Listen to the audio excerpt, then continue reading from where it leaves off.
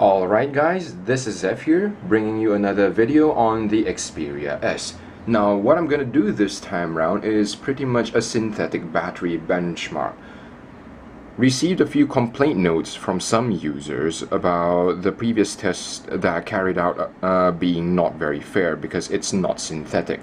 So I don't have any numbers yeah, people caught up in the numbers game. Kind of disgusting, really. Uh, I don't have some solid numbers to actually compare it to uh, some other phones. So basically what I did was to download Antutu Tester and did a battery test with it. So what the Xperia S scored is 466 points. Now, where that stands in the battery score ranking is below the Moto Milestone and Incredible S, which are single core phones.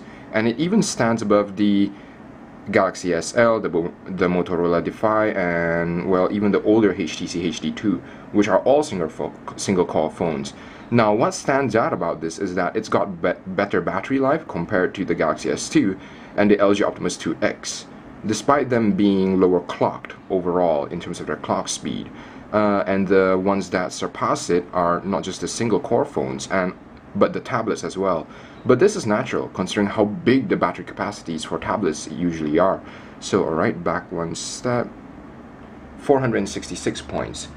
An interesting comparison to be made over here will be the Motorola Droid Razr. So over here I just go inside and head over to Antutu Tester.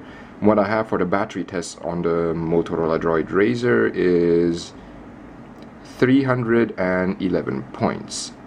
Now back one step and into the battery score ranking, that's all the way at the bottom. So given the scores though, the let's see, the Xperia S should have approximately about 150% the battery life of a Razr and since the Razr Max has almost double the battery capacity of the Droid Razr itself, the battery life of the Xperia S lies probably somewhere in between uh, the Droid Razr and the Droid Razr Max. Now, an interesting comparison to be made is with the uh, Xperia Arc S running ice cream sandwich. Okay, so uh, it's in between the Galaxy S2 and the LG Optimus 2X, although you can't really tell uh, all the bars look the same, but the score that it got is 408 points here on the Xperia Arc S running ice cream sandwich beta.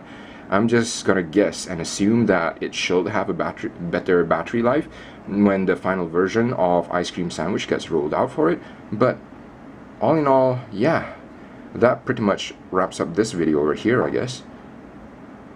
Thanks for watching.